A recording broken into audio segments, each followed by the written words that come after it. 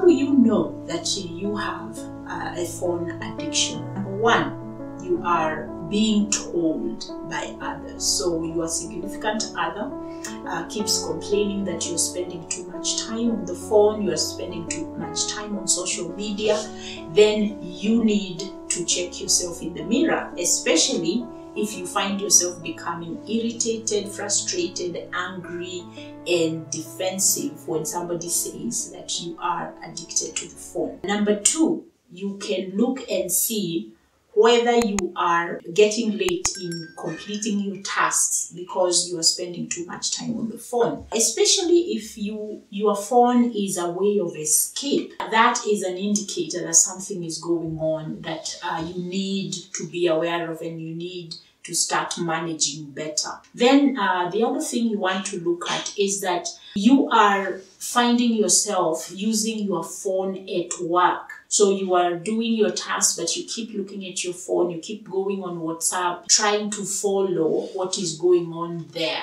Now, that is an indicator again that you are getting into an addiction to the phone. The other thing that uh, is very, very telling, especially to the younger generation, is when you are staying up late, especially if you are just following social media. You are on Facebook, you are on YouTube, just looking through those are indicators that uh, you are getting yourself out of control. Your, your phone use, your social media consumption is getting out of control. So you are not sleeping well. In the morning, you wake up and you're very tired because you've been on the phone till uh, 1 or 2 in the morning. If uh, you find yourself unable to uh, stay focused on tasks that need your mental ability for a long time, but you get bored, you get sidetracked. You, when you use your, your phone uh, to escape, uh, the reality of your life where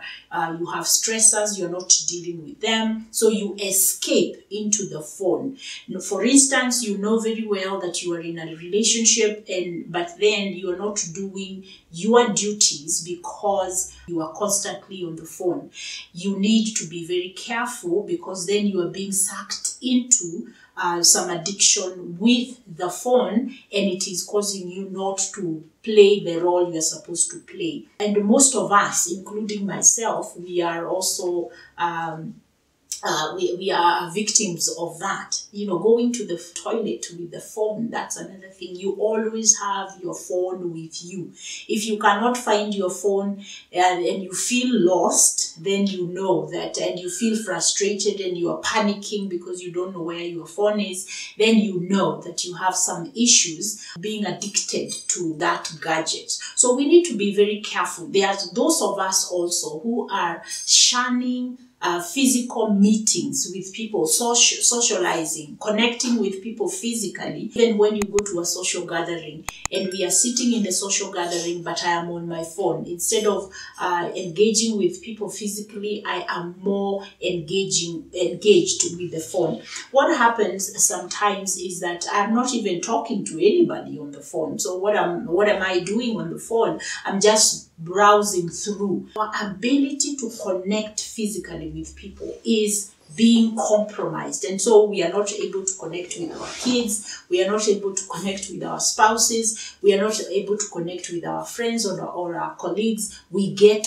bored quickly. If we are not very careful, eventually our relationships are going to be impacted negatively by that. So watch your, your phone intake uh, create boundaries for yourself take time to uh, create schedules for yourself when you need to be on the phone and when you need to focus on what uh, you need to focus on turn off the phone every now and then if you are concerned about your, your usage of the phone why don't you pay attention take one or two days and pay attention to how much time you stay on the phone. Feel free to reach out to me.